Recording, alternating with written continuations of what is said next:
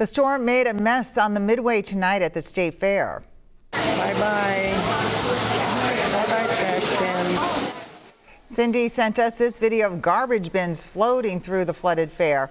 Our Kirsten Mitchell rode out tonight's storm at the fairgrounds and she joins us now. It looked pretty intense, Kirsten.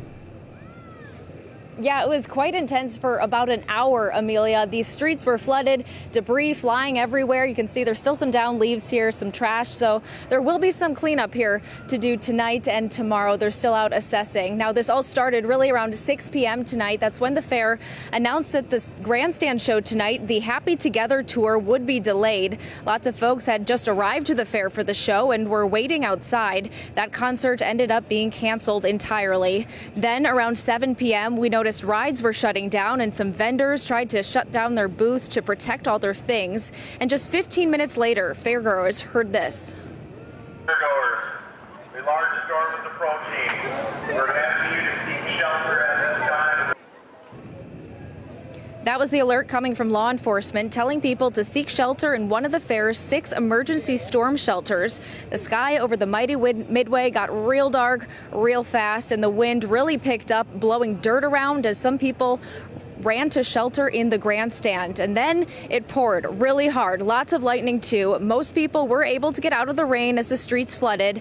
We met one family huddling under our WCCO building awning who were taking it in stride. This is lovely, right? Yeah, they're half Irish, so they're well used to the rain, so they're not afraid.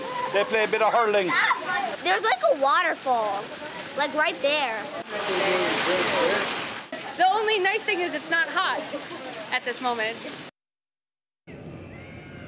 That is one silver lining that we are all enjoying. Now, the fair is open until 11 tonight, and some vendors did reopen after the storm.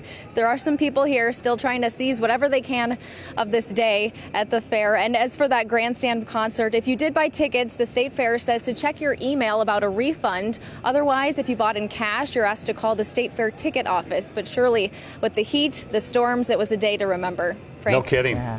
All right, Kirsten, thank you. You're going to remember it wherever you were, like here in downtown. The rain and wind were whipping in downtown Minneapolis. This was uh, Nicollet Mall earlier this evening, just as the storm began.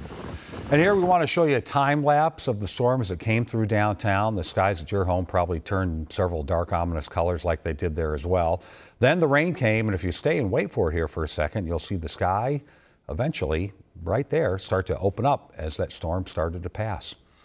Check out this stunning sight, a rainbow over downtown Minneapolis with some amazing flashes of lightning in the background.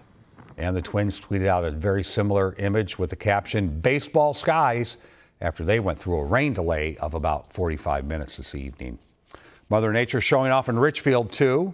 Our photojournalist Tom Avilas captured this dazzling display. As you can see, not only the rainbow, but in the foreground, there are a number of trees that went down in that area as well. We've been seeing so many great storm photos from you. Please share them if you can. When it's safe, just send them to us anytime at WCCO.com slash photos.